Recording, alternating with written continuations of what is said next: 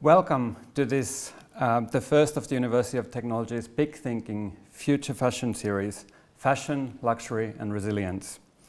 My name is Timo Rissanen and I'm an Associate Professor of Fashion and Textiles as well as the Course Director of Fashion and Textiles at the University of Technology, Sydney. Today's discussion will examine the role and meaning of fashion and luxury today, how the industry may respond and recover from the profound impacts of the COVID-19 pandemic, and the future opportunities and possibilities for the industry. I'd now like to introduce our panel for today. So first, Carla Zampatti, AO. Carla Zampatti is the Executive Chairman of Carla Zampatti Property Limited, and this year she celebrates an epic accomplishment of 55 years in the industry. Carla is without a doubt the matriarch of the Australian fashion industry, and not only as a result of her success and achievements, in design and business, but also because of her enduring commitment um, and to mentoring and supporting the next generation of Australian fashion talent. In 2018, Carla launched the $25,000 Carla Zampatti Foundation Design Award, which to date has benefited three graduates from the UTS Honours Program uh, to pursue further study overseas. Carla is the board member of the Australian Multicultural Foundation, the European Australian Business Council, Sydney Dance Company, MCA Foundation, and UTS's uh, Vice Chancellor's Industry Advisory Board. So welcome, Carla. Thank you. Julie Ann Morrison has extensive experience internationally and locally building and leading iconic brands such as Gucci, Bulgari, Moschino, Sass & Bide, David Lawrence, Marcs, and Guess. She has been a managing director based in London within the LVMH group a finalist in the Australian Businesswoman of the Year Award, a non-executive director of Maya, and a long-time advisor to Carla Zampatti. Julie Ann has held various roles within the fashion and related industries from sales, marketing and buying to HR director where she developed and delivered training courses. As a, as a managing director, she has worked across global markets from Asia to Europe to the US in managing brand licensing, retail and wholesale. Julie Ann holds a Master of Arts, Creative Media, and consults on branding and business strategy. So welcome, Julie Ann. Thank you. And then Dr. Toby Slade uh, is a new associate professor of, at UTS in fashion and textiles and an authority on Japanese fashion and popular culture. Before coming to UTS, Toby worked for more than 16 years at the University of Tokyo and Bunka Gakuen University in Japan. His current research focuses on the history, contemporary forms and changing meaning of luxury in Japan. He is the author of two books, Japanese Fashion, A Cultural History, the first English language book to explore the entire historical sweep of fashion and clothing in Japan, and Introducing Japanese Popular Culture, which looks at fashion as a central component of popular culture. Toby is a founding member of the Research Collective for Decolonializing Fashion, and he was a recent guest editor of a special issue of Fashion Theory that explores decolonizing fashion that came out in September 2020. So welcome, Toby. Thank you. I would now, now like to acknowledge the Gadigal people of the Eora Nation upon whose ancestral lands the university campus today stands and from Carla's home where we are also speaking today. I would also like to pay my respects to elders past and present acknowledging them as the traditional custodians of knowledge for these lands. I would like to begin uh, with you, Carla, and with some questions um, uh, to, to sort of open up the discussion about luxury fashion in Australia. So first, my first question to you is, what have been your experiences of crisis for Australia in fashion? Crises, I have experienced about four of them in my career, having been around this long. Um, what I have found is that people, after a crisis, usually move to a better product. That's why we have been very successful post-crisis. Um, I think it's really important as a designer to stay very close to your clients and try and assess what kind of things they need and uh, try and give them those. But I think our product is, has a longevity look. It, um, it's classic but yet modern and they know that they can put it in their wardrobe. It won't fall apart. It'll be something they can put their hand on and wear in five or ten years' time. So the, I think it's the first of the luxury brands because uh, it's not how many things you have, it's just the quality of the things you have in your wardrobe and how often you can wear them. Yeah, that's, that's an excellent point. And you pointed to something else really important, which is the relationship. Because you said, you said something about the relationship between you and the customer. So can you say a little bit more about that? My relationship with my customer has been very close from the beginning because I started in 65 when women are just beginning to take on responsibility eh, outside their homes.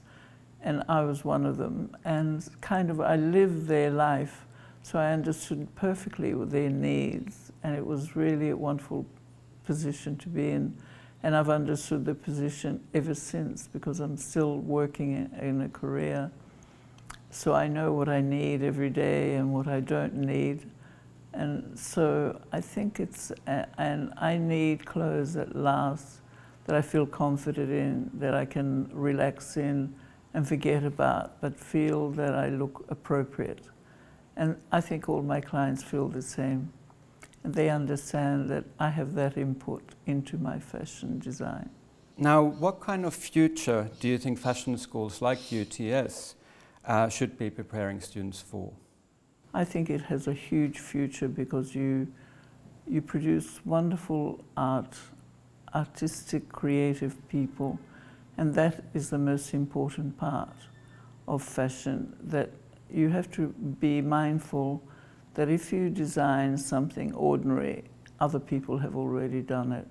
The only way you'll continue staying in business is by creating new and individual pieces. I learned that a long time ago with my first retail store. That people came to me for certain things which were different. And, and so I've stuck to that. And if designers work out very quickly what their special, special quality is and then develop that, I think they will stay in business a long time.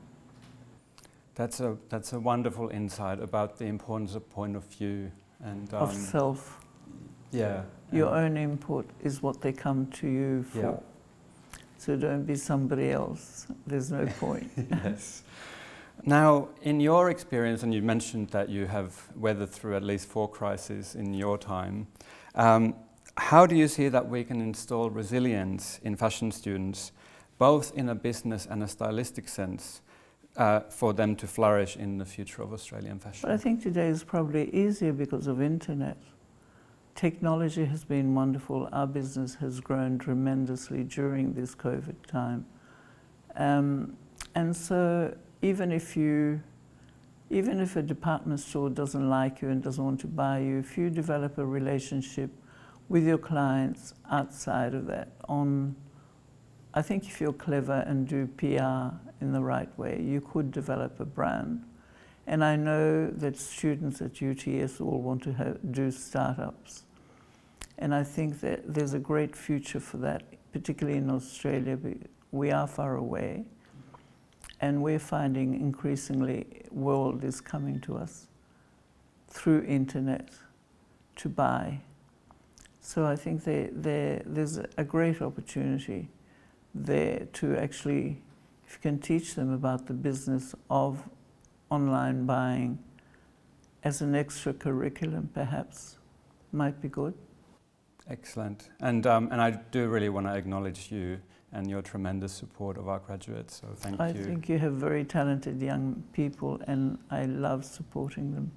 It's the future of the fashion industry, let's face it. Yes. I might turn to you, Toby, now. In our current age, how can we define and also how can we justify luxury? I tend to define luxury as broadly as possible. Um, and just luxury is the things that take us beyond the economic necessities of life. Um, prices we pay or time we take, even that maybe makes no economic sense but makes emotional sense or makes some other sort of sense. So that could be your morning coffee or or um, a fancy car, uh, or clothes made by an artist, but it could also be just a pair of woolly socks that no one ever sees, that just feel pleasurable. Um, so I think luxury certainly um, has an element of conspicuous consumption, but it's also about private and quiet pleasures that go beyond necessary subsistence. Um, and in that way, I think it tells us very interesting things about a person or society, what they are willing to do uh, above and beyond what's necessary. Um, justification is kind of an interesting question because uh, throughout most of history, luxury has been a moral question, and it's not until the Scottish Enlightenment and David Hume that starts to couple the refinement of luxury and happiness and um, well being. Um, and that's sort of a, an issue about freedom. People shouldn't have some arbitrary uh, system that tells them what the good life is. People should be able to choose um, the good life for themselves. And so I think historically there was a great decoupling of morality and luxury that happened in the 18th century. I think what has been happening recently um, is a little bit of a re-moralisation of luxury, particularly around debates about equality and about sustainability. Um, uh, however, you know, in, in, that definition that I put out about what luxury is, um, luxury really is the key to a more sustainable future because all the things that are embedded in luxury fashion are the things that we need to get us beyond the environmental problems that we have. Clothes that are that last longer, clothes that uh, use better materials, clothes that have transparent supply chains, uh, clothes that use um, uh, sustainable and, and just level of, of, of labour and compensation.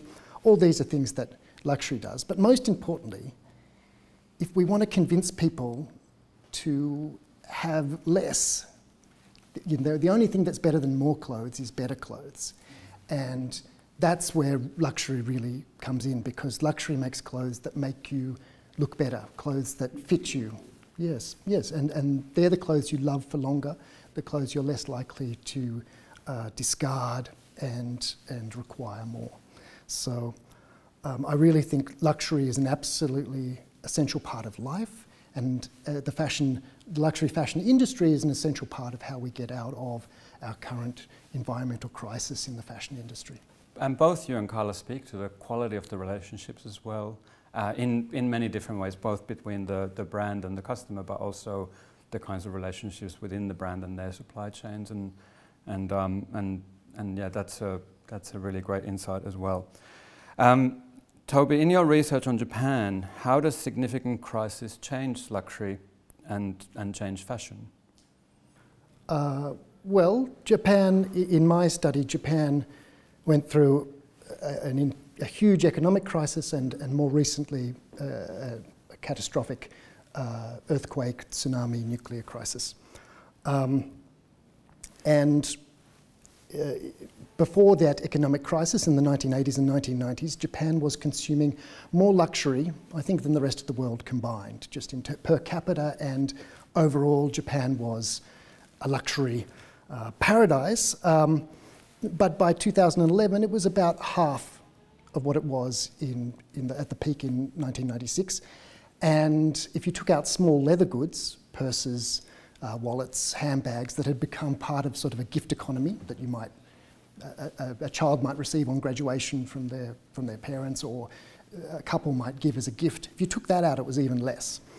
Um, so my research is sort of about what had happened. Why had Japan gone away from uh, luxury. And, and even though the economy had um, completely recovered, and even though the economy was, people were spending just as much as before, they didn't seem to be spending it on the kind of luxury they were spending it on before. Um, and my contention is that they are still spending it on luxury. It's just no longer the luxury that turns up in those figures. The luxury that they are now spending it on tends to be smaller brands tends to be more personal experiences. Um, uh, because I think, as Carla said, when you have a crisis, people have to reevaluate. People have to think about what's really important to them. And for Japanese consumers, I think they realised that the kind of luxury that was being sold to them was, was not satisfactory. It was sort of a, a branded luxury, and what consumers really wanted, if you are a consumer that's interested in uh, luxury beyond just the object itself, if you want a story, if you want an artistry, if you want sort of a craftsmanship, then just putting a logo on a polo shirt won't cut it. So I think what happened in the Japanese experience, as, uh, as Carla said, has happened in the Australian experience, is that, that consumers started to want more quality and they wanted to have luxury goods that were connected to culture, connected to place, connected to the craftsmanship that they had in Japan. Now, even the Japanese have a cultural cringe, and, um, and especially as you kind of spoke to, especially in luxury fashion. Um, how is that overcome? So, ab- absolutely, this is uh, something that Japan and Australia has in common in that both our cultures have a little bit of a cultural cringe and, and require people to be validated by Europe or America before they can um, be truly celebrated across all sorts of industries. Um, and I think this is a little bit of a, a colonial remnant in that it's assumed in, the, in, a sort of colonial logic that Europe is the font of everything stylish and luxurious, and that you know European luxury is actually a central symbol of civilization. And um, I think at, at, moments like these, we realise well, actually, we can do uh, whatever they do just as well. I think Japan realised that in the 90s that they had designers, they had a craft culture that was equivalent to Italy or to France, and um, that perspective changing crisis um, uh, allowed them to sort of reconsider. Um, uh, Japan in 1985 was the second biggest economy in the world, and yet the symbols of material success in Japan were sort of mass produced luxury brands uh, from Europe. And so the way that fashion, well, I think people often assume that fashion is maybe personal, maybe trivial, maybe not important, and outside the serious remit of nation building. But actually, clothing and fashion is central to our sense of heritage, our sense of self respect, our sense of ambition. And I think that's what Japan realised that they needed something that was authentic, a luxury that was authentic to who they were the sense of their craftsmanship, a sense of their place.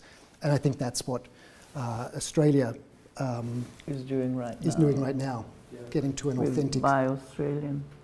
It's amazing how many women are coming to us because they know we manufacture in Australia. It's really good. Mm. It is, and, and, and, just a few days ago, I was in class with my students, and, and I had to remind them that they are people who improve people's quality of life. That's what we do in fashion. Often, people outside of fashion, like you said, Toby, think that what we do is a bit trivial, but we all wear clothing. It touches everyone's lives. Yeah, it really does. I have women saying to me, I met my husband, I got married in this, my granddaughter uh, graduated in that. And it's wonderful. Their own lives, their association with fashion is a very personal one and very deep. It is. Thank you, Toby. I I, am now turning to Julie Ann. Um, so, Julie Ann, how can Australian fashion brands be perceived as luxury in the global market? Well, I think that uh, the best approach to that is not to aspire to be luxury and pretty much ignore the idea of um, compelling yourself to be luxury as the most important thing. Um, I think that it's a matter of positioning your brand very distinctively, being authentic to your own creativity, standing back and looking at the whole range in the market and really competing and positioning your brand um, within those markets and competing. It's also about learning from the excellence in luxury brand management that does come out of Europe and Japan and um, the US and applying some of those skills but to your distinctive brand and position and, and inspiration. And I always think it's very useful to look at the market with customer eyes and look at it from the point of view of saying, well, when I see all the range of things available to me uh, in this offer, perhaps around these values, do I pick myself? And if I don't pick myself, then what are the reasons? And if I do, what are the reasons? So it's being very outward um, and not too concerned about uh, the idea of the luxury goods industry. Excellent points, and um, and particularly your speaking into authenticity and speaking into creativity and imagination. I think are such excellent lessons. Mm. Um, now, what should be the direction and priorities for the Australian fashion industry at the moment, in your view? Well, as we've discussed, I think that um, COVID has been a circuit breaker and people have become much more interested in what is happening locally. So, taking that idea of living locally, which is a richer way to live and certainly a more sustainable way to live, then I think one can connect to local community, local culture, uh, locally made, which Carla has uh, touched on, uh, which I think is extremely important. And I think that Australians and perhaps the rest of the world may not recognise Australia as a source of luxury, um, but I think the distinctiveness of made in Australia as opposed to made in some traditionally large making markets in Asia, um, that drives through to say to the customer, this is actually more exclusive yeah. because I'm buying something that is not um, generically available from every brand. So that will accumulate power over time if brands start to seek out making in Australia, which is also encompasses this live locally yeah. idea. I think that's an excellent point because when you manufacture locally, I would say that you're also a custodian of culture because yes. we don't often think of manufacturing as part of culture, but it really is. Yes. And when we when we support it, we really are custodians of culture yes. as well. And if we make locally, also we are making in the context of what works in our market. So, for example, Australia is a small market. So, from that point of view, it, it's important to make in small quantities and to have the reactivity and the speed to be creative and to meet demand. Uh, so you do not then create a brand led by supply, but a brand led by creativity. And in some ways, you've already spoken to this, but looking sort of ahead into the future, what do you, um, what do you believe will be the future of luxury fashion in Australia? Look, I think that uh, luxury fashion will continue to prosper in Australia, whether it be international or local. And I think the reason for this is that we are a, a prosperous and affluent country. We are very outward looking, so well travelled, and we understand what's going on globally, and the world has also come to us. Adventurous. adventurous, we are adventurous. And I think the other thing is that we're very optimistic. Uh, and, and this is um, supported by the way we live our lives and the way we travel and the way that we um, invest in fashion and things that we love. So there is a, a very important life, perhaps slightly, slightly uh, changed or adapted uh, about luxury in Australia. In terms of Australian luxury, one of the areas that I think is a very big opportunity is uh, the couture bespoke limited edition area. And we see some brands now emerging in this area because one can make things that are quite limited in numbers or even uh, couture and made to measure. Uh, and we're very good at that. And there is an underlying industry in that in Australia um, that I think can be developed um, quite, quite significantly. In some ways, that connects to my final question to you, um, because we're really thinking about the, the, the, next generation in education. So, what skills do emerging designers need to develop in order to be successful uh, in the fashion industry of the future? I think they need to uh, be very open and curious and learn. I think learning is um, sometimes more valuable than knowing. They need to understand the uh, history of 20th century fashion and how it intersects with culture because this gives them an abundance of aesthetic resources to call on to be creative. Uh, they need to uh, be resilient, focused, and want to make money mm -hmm. because that will uh, sus sustain their, their business. Um, and I think that uh, they need to understand over time, it may not be instantaneous, but over time, who they are as a, as a creative person and what their brand stands for. And once again, standing back and looking at that with customer eyes. Excellent, thank you. Um, now, uh, all of all three of you, is there anything that we haven't said about luxury and fashion in Australia that that um, you feel burning need to to add to the conversation? It's been really excellent. But if there is anything to add, um, please please speak. Well, I think it would be um, good for the industry in Australia to become more enmeshed with fashion education and institutions. Um, and for those two things to be uh, more supportive to each other uh, because the industry is, is big. Mm-hmm. Um, it can be uh, bigger, it can take market share for, from imported brands. And to do that, it requires a high level of skills, really at an international operational level. So, whatever kind of uh, enhancement of training and ongoing education for the industry uh, can occur, I think, is really valuable. I, I often find that in Australia there's um, a narrative of inability. Oh, we can't do manufacturing in Australia, it's too hard, we don't have the, the labour uh, costs or whatever. Um, or we can't do luxury in Australia. But you know, these, these are narratives that are often patently false. And I think an important thing often to give to students is just to push those myths over and say, well, of course you can do manufacturing in Australia. Of course we can have a world-class luxury market in Australia. Um, because these, these myths often have nothing behind them. Yes, mm. and I think that's about courage. And I think what Julie Ann said about bespoke mm. I think is very important mm. because um, small runs are mm. very, very popular, of top quality, very special items. Yeah.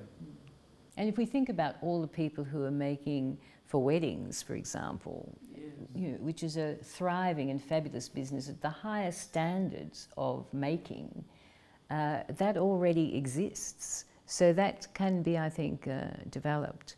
The other thing that I um, had meant, wanted to say was that the Australian market, to make money in the Australian market, is about being optimum, not maximum. And so that's a fantastic opportunity for luxury because uh, so many ca cases in which Australian fashion fails and international fashion fails in this market uh, is by overextending. Mm. Mm and really creating a cost base and a supply chain that starts to drive your brand. Um, and therefore, you lose the distinction of your brand. So, the brand is the key asset. Product and, and brand. Yes, product and, and design. Design, yeah. product, and brand. Exactly. And understanding what that optimum place is for your brand in this market.